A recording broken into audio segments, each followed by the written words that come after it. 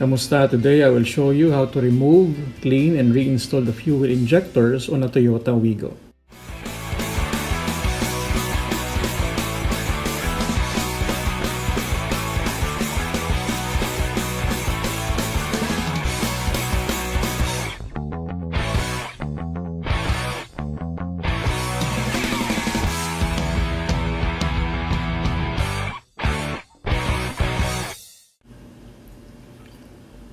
Remove the negative battery connector using a 10mm deep socket and a wrench, then take out the engine cover. Pull out these ignition coil wiring harnesses.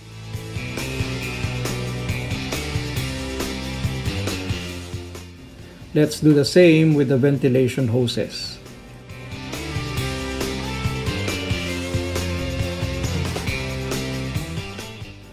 We're detaching the air filter box as well. Put them aside for now. Disengage several wiring connectors and clamps to get to the fuel injectors.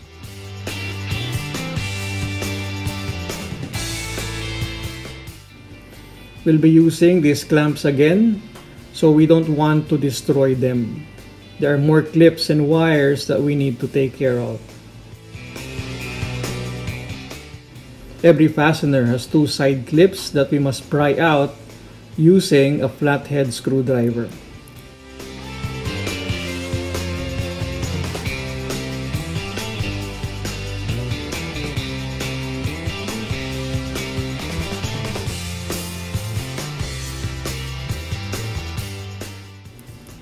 We're disconnecting the mass absolute pressure sensor from the intake manifold. Use a 10mm socket to loosen the bolt. Get the wires out of the way.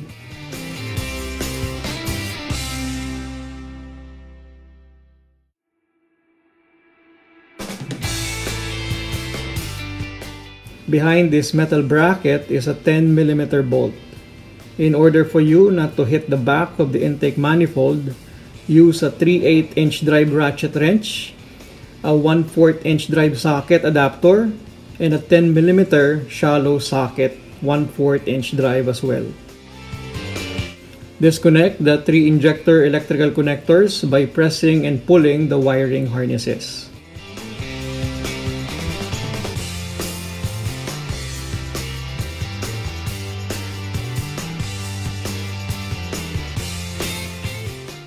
Remove this specialized fuel rail clamp from the tube sub-assembly. I suggest that you wear surgical gloves, a face mask, and a face shield for this part. Also, put a catch pan under the tube sub-assembly. Press this yellow release clip, then pull it out from the rail.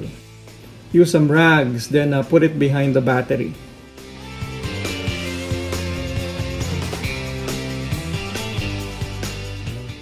I'm using a T-type 10mm wrench to remove two fuel rail bolts and one bolt for the metal bracket. Turn the tool counterclockwise to loosen them.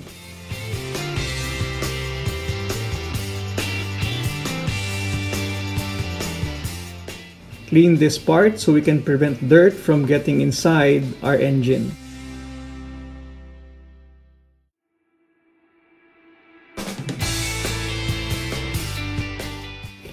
Give both sides of the fuel rail a tug to partly detach the fuel injectors. Take out the metal bracket by sliding it to the left. Just avoid hitting the fuel injector near it. Let's now remove the hose of the positive crankcase ventilation valve to make room for the fuel rail and injectors.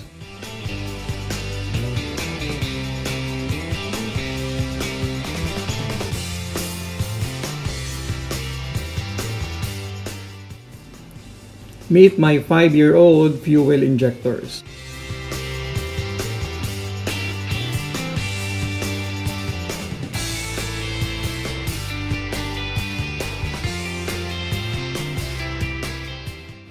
Empty the remaining fuel from this delivery rail.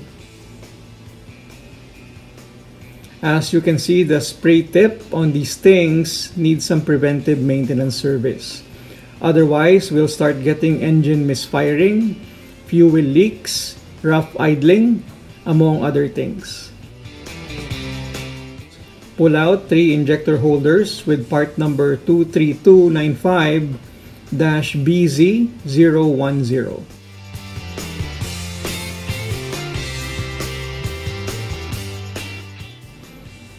Pull the three injectors out of the fuel delivery pipe as well.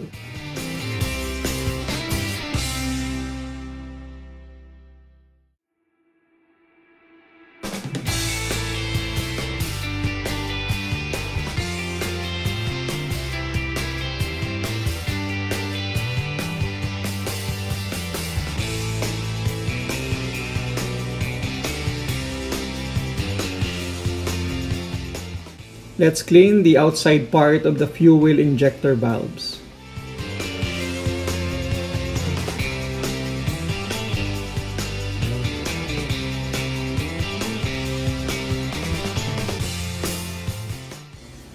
I bought this fuel injector cleaning kit from the online store that we all hate and love. It came with two nozzles with two different size openings. The one with a larger hole is what we need. The kit also came with two electrical plugs with two different sizes for various fuel injector connectors. Use this bigger one instead.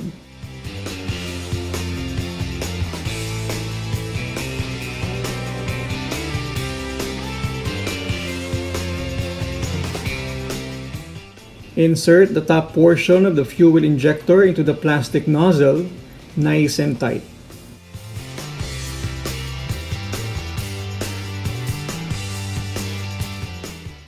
Our fuel injector cleaner will pass through this hole and the pressure that will come out of it will unclog our fuel injector spray tip. Pull the nozzle out of our fuel injector spray cleaner. We'll use our Wigos battery as a power source for this apparatus. This is the negative and positive terminals. Connect the kit's black electrical clamp to the negative pose of our battery. Place the plastic jet nozzle on our aerosol can, then press down on the nozzle and let this red or positive connector touch the battery terminal. Do this for 5 to 6 times with a 1 to 2 second interval for each spray. I will put new O-rings on the upper portion of my fuel injectors although I think I can still use my 5-year-old stock ones. Let's lubricate the new ones using a silicone spray.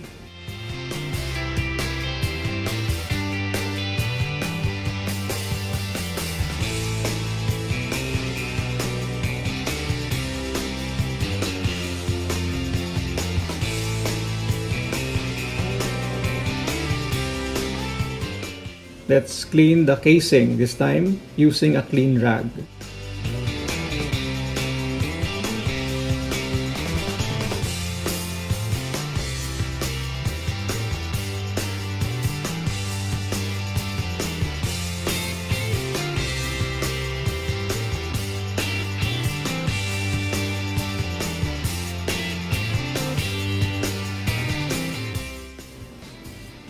Reinstall the injectors to the fuel delivery pipe like so.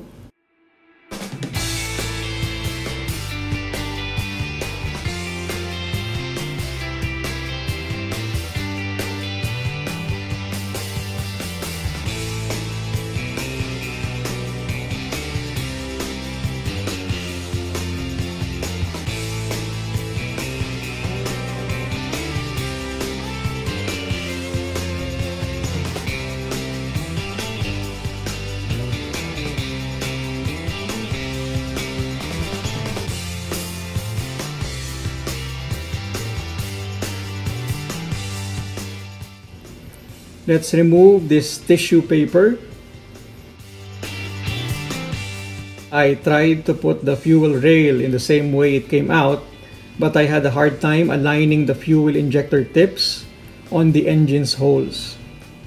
So I decided to remove the throttle body instead including its wiring harness to get more leverage. I made a video on how to remove the throttle body. The link is on the description box. Reconnect everything.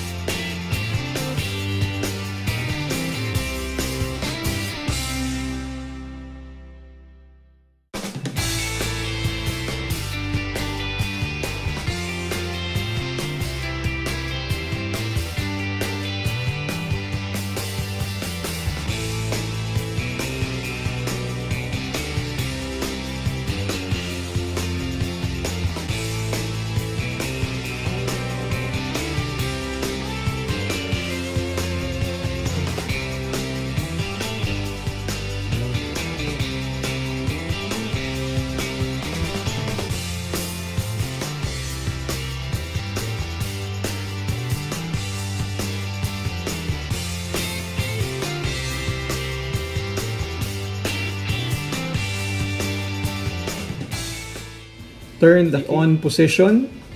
Do not start the engine just yet. Turning the key to the on position will put pressure on the fuel lines before we start our engine.